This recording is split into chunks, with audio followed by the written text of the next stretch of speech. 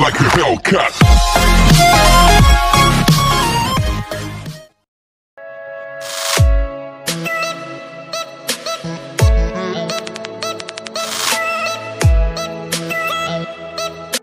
Hello friends Desi recipe में आपका फिर से स्वागत है। आज मैं आपको आलू के मोमोज बनाना सिखाऊँगी।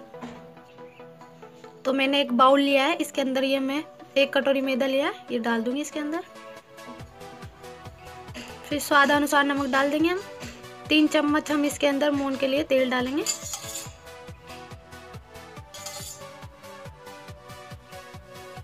अब मैं इसको अच्छे से मिक्स कर लूँगी। पहले पानी ना डालें, ऐसे ही मिक्स कर ले इसको। ये अच्छे से मिक्स होने के बाद इसके अंदर हम थोड़ा थोड़ा पानी डाल के इसका डो तैयार करेंगे। एकदम से पानी ना डालें थोड़ा थोड़ा डाल के और तैयार करिए इसका डो। तो ऐसे नरम आटा लगाएँगे हम। तो ये आटा हमारा तैयार हो चुका है। मैं इसको कम से कम 20 मिनट तक ढक के रख दूँगी तब तक मैं इसकी टफिंग तैयार कर लेती हूँ। टफिन तैयार करने के लिए मैंने तीन आलू लिए हैं, छोटे वाले। इनको छिल लिया है और धो लिया है। अब मैं इसको कद्दूकस कर लूँगी। बिल्कुल बारीक वाला होना उससे करना। तो इस प्रकार हम इसको कद्दूकस कर लेंगे। तो इस तरीके से मैंने इनको कद्दूकस कर लिया आलू को।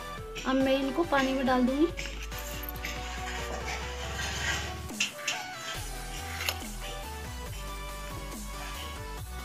अब मैं इनको पानी से बाहर निकालूँगी इस तरीके से।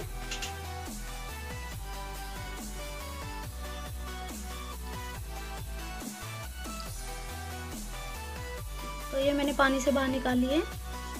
अब मैं इसके अंदर आधी चम्मच नमक डाल के इसको मिक्स करके इसको मिक्स कर लूँगी अच्छे से। मैं इसको ऐसे ही रख दूँगी ताकि नमक ये पानी छोड़ देगा। अब मैं इनको वापस निचोड़ूँगी ताकि इसका पानी अच्छे से निकल जाए।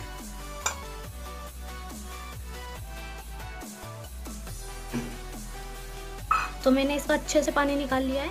ये जब मैंने एक पैन में एक चम्मच तेल डाल दिया है, छोटा वाला, ज़्यादा तेल नहीं डाले, इसको गर्म होने देंगे। अब मैंने एक प्याज चॉप कर लिया था। बिल्कुल बारीक तो मैं इसके अंदर डाल दूँगी।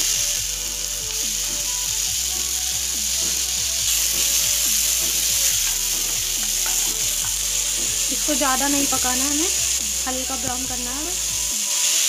अब मैंने थोड़ा सा लहसुन और अदरक का पेस्ट बनाया तो वो भी इसके अंदर डाल दूँगी।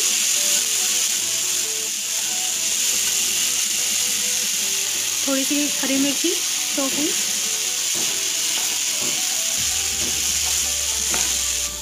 मैं इसके अंदर थोड़ा सा नमक डाल दूँ इसको अच्छे से मिक्स कर ले।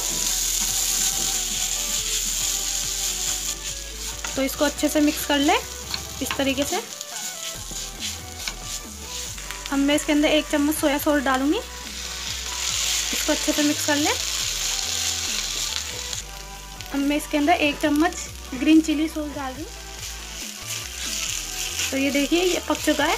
हमारी टफिंग तैयार हो चुकी है। मैं गैस बंद कर दूँगी। हम साथ ही साथ चटनी भी तैयार कर ले, ताकि मोमोज हमारे ठंडे नहीं हो।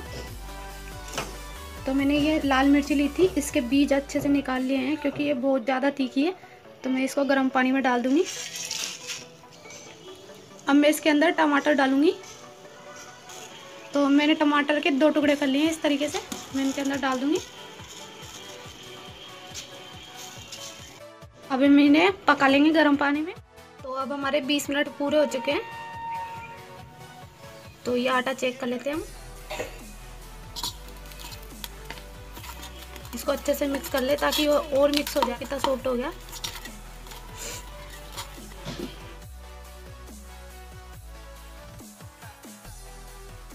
काट लूँगी इस तरीके से, ताकि मोमोज बड़े छोटे नहीं बने हमारे। अब मैं एक डो लूँगी इस तरीके से, इसको तो इस साइज़ के मैं डो बना लूँगी। सभी के इस तरीके से तैयार कर लूँगी मैं फटाफट से। देखिए, ये तो उबल चुके हैं। टमाटर से स्किन अलग हो गई है। अब गैस बंद कर दूँगी मैं। थोड़ा सा आटा डालूँगी इसके ऊपर। अब इसको बेल लेंगे हम। हल्के हल्के हाथ से बेलना है। बीच में थोड़ा मोटा रखना है। साइड साइड से इसको बेल ले, इस तरीके से। रख लेंगे अपन इस तरीके से। इस तरीके से इसको डिज़ाइन दे देंगे।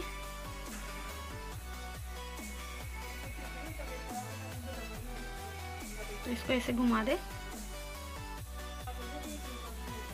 देखो ये मोमोज तैयार हो गया। इस तरीके से मैं सारे मोमोज तैयार कर लूँगी। इस प्रकार मैं दूसरा तैयार करती हूँ। एक और बता देती हूँ आपको। आप, चाहो कोई सी भी डिज़ाइन दे सकते हैं इसके अंदर पर मैंने गोल गोल डिज़ाइन दी है इसके अंदर। थोड़ी सी टफिंग इसके अंदर बीच में रखेंगे।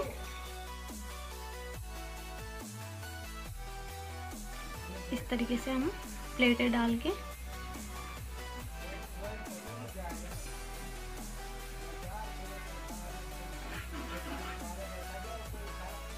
इसको इस तरीके से थोड़ा सा रोल कर दे ताकि ये खुले नहीं। तो इस तरीके से मैंने सारे डो तैयार कर लूँगी। अब मैंने इसका पानी निकाल के इसको ठंडा कर लिया है। तो ये टमाटर के जो छिलके दिख रहे हैं, इसको मैं हटा लूँगी। ये इस तरीके से। सारे टमाटरों के हम छिलके उतार दें ता, ताकि चटनी हमारी बिल्कुल अच्छी पिसे।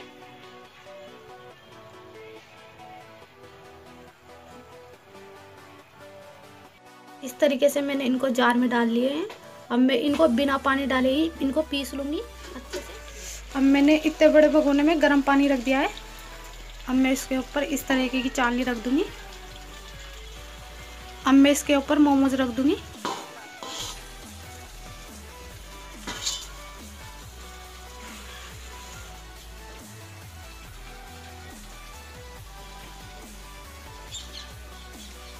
अब मैं इसको ढक दूँगी इस तरीके से।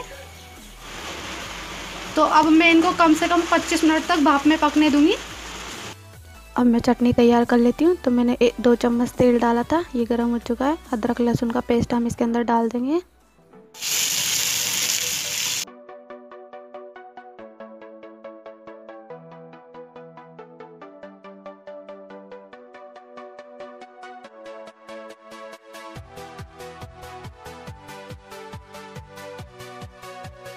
इसको हम अच्छे से पकाएँगे। अब मैंने इसके अंदर आधी चम्मच नमक डाल दिया है। अब मैं इसके अंदर एक चम्मच सोया सॉस डाल रही हूँ। अंदर एक चम्मच विनेगर डाल रही हूँ। अब इस चटनी को हम तब तक ये तेल नहीं छोड़े, तब तक पकाएँगे। तो इसे इसी तरीके पकाते रहें। तो देखिए, ये तेल इसने छोड़ दिया है चटनी ने तो मैं इसके अंदर थोड़ा सा पानी डालूँगी। अब इस चटनी को हम अच्छे से पकाएँगे। अब इसको अच्छे से पकने के लिए हम छोड़ देंगे। तो 20 मिनट पूरी हो चुकी है तो मैं इसको हटा के देख लूँगी। तो देखिए, ये पक चुके हैं। ये अगर चालनी से हट रहे हैं तो ये देखो पक चुके हैं ये। ये हट गया है तो मैं गैस बंद कर दूँगी।